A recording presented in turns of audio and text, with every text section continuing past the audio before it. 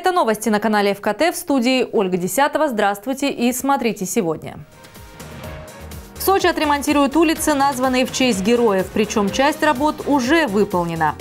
Чем сочинские вокзалы отличаются от минских? В Сочи для обмена опытом прибыла делегация МВД Белоруссии.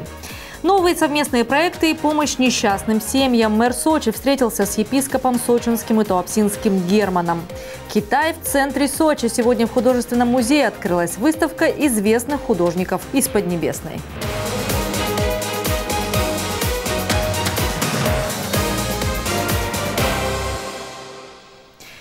Сочи начала работу горячая линия по вопросам теплоснабжения. Ее организовали для оперативного решения проблем с подключением многоквартирных домов к системе теплоснабжения. Звонки принимают специалисты отделов жилищно-коммунального хозяйства районных администраций в будни с 9 до 18 часов. Телефоны районных горячих линий вы видите на экране. В случае, если проблема не была решена на уровне района, можно обратиться в отдел коммунальной инфраструктуры Департамента городского хозяйства по телефону 264 84 73. Детские спортивные площадки, рентген-аппарат и газ, который подарит тепло. Свои просьбы кубанцы смогли передать напрямую губернатору. Обращение Вениамин Кондратьев выслушал на личном приеме. В разговоре участвовали руководители профильных ведомств и главы районов. На газовой трубе стоим, по которой идет на улицу Залиманную. Меньше метра отделяют этот дом и целый микрорайон от тепла. Газовая труба появилась здесь три года назад, однако подключиться к ней могут не все. Так без голубого топлива остался городок Юность. Туда-то довели высокого давления, большую трубу, мы видели, как ее прям по улице раскопали. В принципе, в течение недели они все сделали. Но теперь с этого ящика надо тащить обратно более тонкую трубу. Никто этого не делает. В 2012 году районную котельную местные власти признали нерентабельной и закрыли. С тех пор людям приходится греться по старинке дровами или электричеством. Неуютно, холодно, потому что отапливаемся кто как может. Ну вот я, например, у меня все комнаты закрываю, в одной комнате камин стоит, и вот нам мы вдвоем с мужем. И вот э, зимой, ну, вода по стенкам течет. С этой проблемой жители городка решили обратиться за помощью к губернатору. Как оказалось, в администрации района ситуация уже знакомы. Глава муниципалитета заверил, что проект газопровода на стадии разработки. Через 8 месяцев после госэкспертизы строители смогут приступить к работе. На сегодняшний день получены технические условия. А, проведена работа по топосъемке, то есть определение прохождения трассы. В 2020 э, году мы запроектируем и, соответственно, в 2021 будем строить. А сколько э, э срок выполнения работ? Примерно? До конца 2021 года абсолютно. То есть Новый год 2022 года они встретят с газом, так да. я понимаю? Да. Из другой станицы, но уже Абинского района на приеме потомственная казачка Светлана Попович здоровается с главой региона, словно бы они из одной станицы. В районе у нас уже есть такие площадки, и мы все это видим. И вот мы обращались к нашему главе района В'ячеслава Олександровича. Он поддержал нас. Но дуже дорого стоит эта площадка, понимаете? С неподъемной суммой поселковый бюджет не справляется, поэтому региональное министерство спорта уже внесло площадку в Мингрельской в свои планы. В регионе за 15 лет построили больше 600 таких спортивных площадок. В следующем году ведомство собиралось возвести 10 комплексов, но губернатор вносит коррективы. Давайте сделаем так, я деньги вам дам на 20 площадок. И это тоже ничто ну хотя бы 20 площадок в год. И еще раз подчеркиваю, по цене они не такие дорогие. Ну, а эффект от них, эффект да. огромный. Из небольшой проблемы станичников Абинского района в ручном режиме рождается проект комплексной зоны отдыха. После диалога с главой района выясняется, что рядом стоит дом молодежи, который давно планируют восстановить. Вениамин Кондратьев призывает браться за задачу сразу, более масштабно. А эта спортивная площадка, Вячеслав Александрович, она где будет э, вот, по локации? Она будет располагаться в центральной части, недалеко от администрации. Но она будет началом для развития определенного земельного массива. Там есть старое здание, заброшенное старого дома культуры, небольшой берег реки Аушет, который мы планируем впоследствии облагородить в рамках комфортной городской среды. Вот давайте сделаем так. Э, если вы вот э, с этим клубом, так, так называемым, планируете эту спортивную площадку многофункциональную, то, естественно, она будет э, э, смотреться не то что кратно выигрышнее, чем рядом, скорее всего, вот этот вот клуб. Поэтому, если уже заниматься, то заниматься по-хозяйски нужно в комплексе. Тогда уже и клубом, и этой площадкой. И сделать вот такой досуговый центр для молодежи. Подготовьте в целом концепцию развития вот э, э, этого массива, этой территории. Если там многофункциональная площадка в следующем году будет уже строиться, то быстренько-быстренько делайте проект и давайте посмотрим, что мы сможем сделать из этого клуба.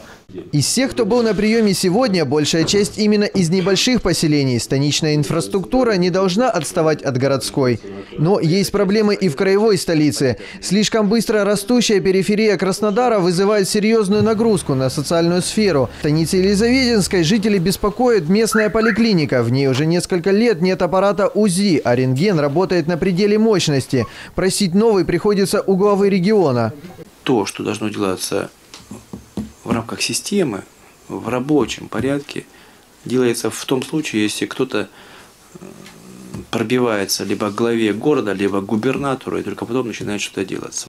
Конечно, нужно рентген оборудование, и все это должно быть. Но не потому, что кто-то до кого-то добежал, а потому что это мы изначально на всех уровнях власти, и поселковой, муниципальной, и, и краевой, должны изначально просто чувствовать человеческой душой, что это все нужно ну, конечно, этот вопрос все равно должен был разрешен быть до того, как вы попали на прием к губернатору. Но в моем понимании так.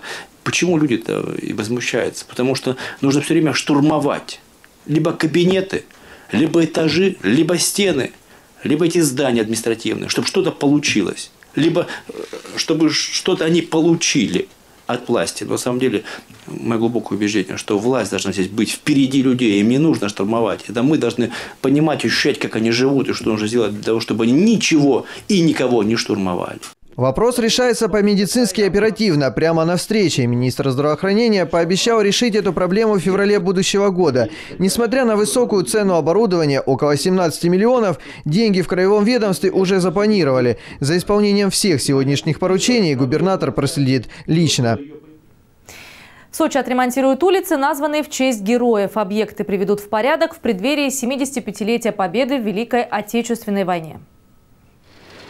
Улицы, названные в честь героев войны, отремонтируют в трех городах Краснодарского края. Работы планируют завершить к 9 мая.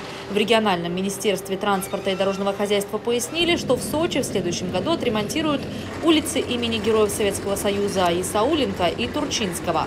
В этом году по нацпроекту на курорте уже отремонтировали улицы Героя СССР Павлова, улицы Победы, Севастопольскую и 20-й горно-стрелковой дивизии.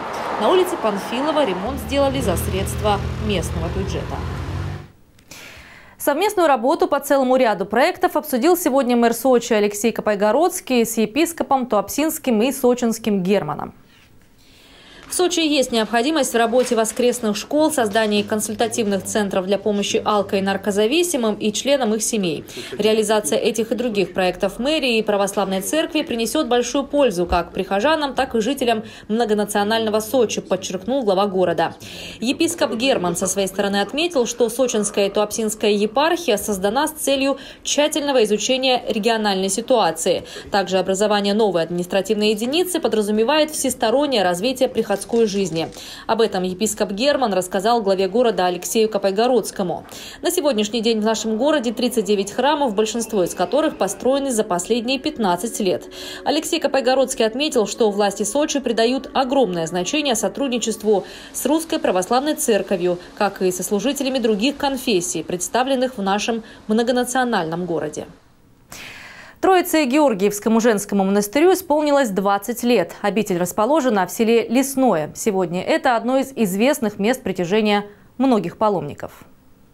История женского монастыря началась с этого места. В 1999 году здесь трое монахинь установили палатку, которая около года была их и храмом, и домом. Монастырь строили исключительно на частные пожертвования. Храмы и часовню проектировал архитектор Федор Афуксиниди. Во время юбилейных торжеств немало добрых слов звучало и в адрес настоятельницы, матушки Анастасии, за ту масштабную работу, которую она смогла провести за достаточно небольшой в масштабах истории срок. Праздник с торжеством. Красиво. Александровна, заместитель главы города. Очень приятно познакомиться. Гости знакомились с храмовым комплексом и изучали фотолетопись создания монастыря. Первым в 2000 году здесь осветили собор святого Увара Великомученика. Именно с его колокольни теперь ежедневно по окрестностям разносится мелодичный звон. Затем свои двери для прихожан открыли еще четыре храма, в их числе и церковь в честь иконы Песчанской Божьей Матери. В 2013 году под его сводами вместе с прихожанами встречал Рождество президент России Владимир Путин. К юбилею строители закончили внутреннюю отделку уникальной в архитектурном плане часовни. Ее будут освещать в честь святой Анастасии Узорешительницы. Мне хочется всем сочинцам пожелать счастья, здоровья, побольше приезжать в наш монастырь, причащаться, исповедоваться, вести церковный образ жизни, э, потому что впереди у нас всех Бог э, спасение наше, и мы перед Ним за все дадим ответ. Всех гостей праздника угощали солдатской кашей, и это символично, подчеркнула настоятельница монастыря. На южных рубежах России православная церковь всегда играла роль духовного оплота для военных, защитников границы. Монастырь будет расширяться и дальше в плане возведения большого храма. Средства дадут меценаты из Москвы. Правда, дата начала строительства еще не определена, но место уже выбрано. Собор появится при входе в православный комплекс. Татьяна Говоркова, телекомпания ФКТ. Ну а продолжим после прогноза погоды и короткой рекламы.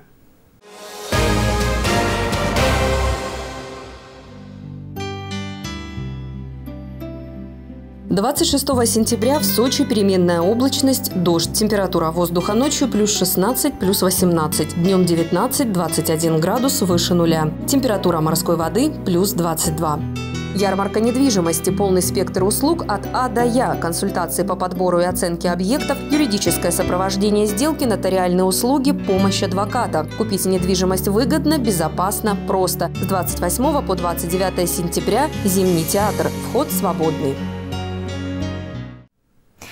Поделились опытом. В Сочи прибыла делегация МВД Белоруссии. Сотрудники управления по обеспечению безопасности на транспортных объектах приехали из Минска, чтобы изучить, как устроена работа на сочинских вокзалах, в морпорту и на воздушной гавани курорта.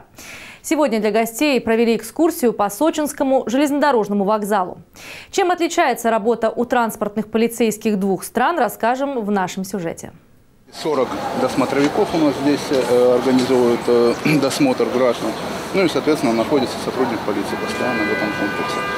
Экскурсию по ЖД вокзалу начинают с зоны досмотра. Эти павильоны оборудовали к Олимпиаде. И вот уже пять лет они помогают обеспечивать безопасность сочинцев и гостей курорта. Такие же зоны досмотра есть на всех станциях от Лазаревского до Олимпийского парка. Гости из МВД Беларуси удивляются. У них даже на самой большой станции в столице такого нет. Досмотров нет. Но вот самая крупная станция Минск пассажирский. В сутки заступ... ну, на смену заступает 6-7 милиционеров. Службы безопасности нету. Дружинники помогают. Такие меры безопасности на сочинских вокзалах и в аэропорту обеспечены из-за большого числа пассажиров – около 100 тысяч ежедневно. Курорт принимает более 200 крупных событий в год. Зона ответственности транспортной полиции – это 8 вокзалов, аэропорт и морской порт. Летом здесь курсируют 88 поездов дальнего следования и 25 пар электропоездов пригородного сообщения в сутки. Аэропорт принимает более 90 авиарейсов. Показываем э, наше взаимодействие с э, другими силовыми структурами, с э, сотрудниками РЖД в плане обеспечения порядка, организации досмотровых мероприятий. Мы являемся, наш город Сочи является лидером в данном направлении. Мы имеем возможность организовать стопроцентный досмотр граждан, поэтому нам есть что сказать. Сегодня из Сочи в Минск есть прямые авиарейсы, из Беларуси на побережье ходят и поезда. Поэтому транспортные полицейские двух стран заинтересованы в сотрудничестве и с большим интересом делятся опытом. Регион сложный. Здесь это, как сейчас говорят, площадка для многих международных событий и мероприятий. Поэтому мы рады, что уровень безопасности является здесь образцовым как и для всей Федерации, так и для других государств. Завтра делегация соседней республики планирует познакомиться с организацией работы в морпорту и воздушной гавани курорта. Галина Моисеева, Ольга Десятова, Николай Тихонов, телекомпания ФКТ. Почти 4 тысячи пачек сигарет. Такую нелегальную партию задержали на границе с Абхазией. Груз перевозили две иномарки. Автомобиль «Форд» прибыл на границу поздно ночью. Водитель спешил и заявил, что товаров для таможенного декларирования нет. Однако машину отправили на досмотр с помощью рентгена и кинологов. В автомобиле было обнаружено множество тайников. Иномарка как конструктор состояла из скрытых полостей, наполненных сигаретами. Пачки были спрятаны за ковролиновым покрытием в крышке багажника, за шумоизоляцией, за обшивкой дверей в механизмах э, стеклоподъемников. Всего таможенники обнаружили 99 блоков сигарет без акцизных марок. Это 990 пачек. А двумя днями ранее на границе также задержали прибывший из Абхазии микроавтобус. В нем тоже нашли сигаретный тайник. В днище салона после демонтирования пассажирских сидений, ковролина и уплотнителя было обнаружено три скрытых полости. В них находились 280 блоков сигарет. Это 2800 пачек. Незаконные товары и автомобили изъяты. Возбуждены четыре дела об административных правонарушениях. В Сочи на каждый полет квадрокоптера необходимо получить разрешение. Об этом жителям и гостям курорта напоминает городское УВД. Полеты малой авиации и беспилотных летательных аппаратов весом более 250 граммов должны быть зарегистрированы. И на каждый полет требуется получить разрешение. Владельцам такого рода техники стоит помнить, что несанкционированные полеты радиоуправляемых самолетов, вертолетов, дронов и коптеров, управляемых физическими лицами вне помещений, запрещены. Во время массовых мероприятий полеты беспилотников в зоне проведения праздника возможны только в соответствии с законодательством. За нарушение правил установлены штрафы на граждан в размере от 2 до 5 тысяч рублей, на должностных лиц от 25 до 30 тысяч рублей, на юридических лиц от 250 до 300 тысяч рублей или приостановление деятельности предприятия на срок до 90 суток. Сочинские 33 водопада вошли в тройку самых красивых в России. Один из интернет-порталов опросил пользователей и узнал, какой водопад в стране туристы считают самым впечатляющим. Первую строчку списка занял водопад Джур-Джур в Крыму. Его выбрали 33% респондентов. В список лидеров также вошли Чегемские водопады в Кабардино-Балкарии и водопады в долине Шахе в Сочи. За них было отдано 15% голосов. Также путешественники отметили Кивач в Республике Карелия и Большой Чульчинский водопад на Алтае. В десятку также вошли водопады в ущелье реки Пшада, близ Геленджика и Лермонтовский водопад в Кисловодске. Китай в центре Сочи сегодня в художественном музее открылась выставка известных художников из Азии. От жизни выше жизни. Выставка картин под таким названием расположилась в трех залах Сочинского художественного музея. Это работы четырех известных художников из Китая, а также сочинского искусствоведа Жанны Отче наш. Всего порядка 50 картин в масляной и акварельной технике. Китайские художники представили пейзажи русских просторов, знаковые места и природу Китая, а сочинская художница работает с религиозными мотивами. Задача выставки – выразить общественную жизнь и чувства представителей двух разных культур. Она показывает именно те точки соприкосновения идеологических чувств русского и китайского народа. Вот. И выставка приурочена к 70-летию а, в этом году, которая отмечается, дипломатических отношений русского и китайского народа. Выставка будет работать по 5 октября. Посетители Сочинского художественного музея также смогут пообщаться с художниками и посетить мастер-классы.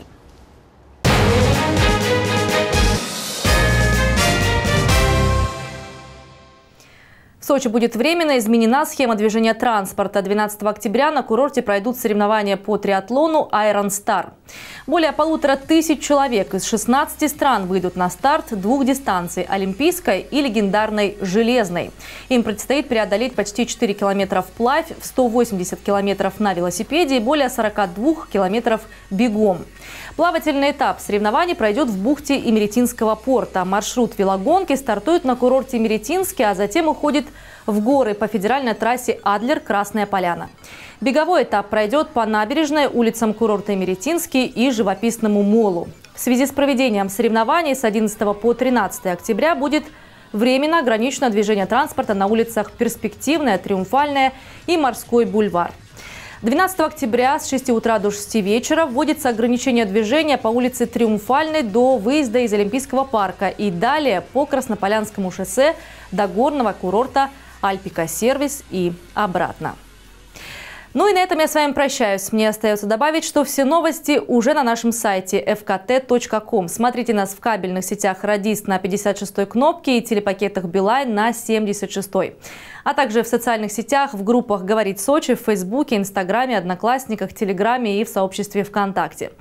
Ну и заходите на наш канал в Ютьюбе «Говорит Сочи».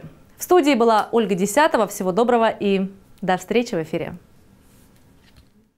Одежда ведущей предоставлена мультибрендовым магазином российских производителей «Сезоны». Это новые тенденции, качественные материалы и безусловный комфорт. Найдите свой стиль по адресу улица Парковая, 17.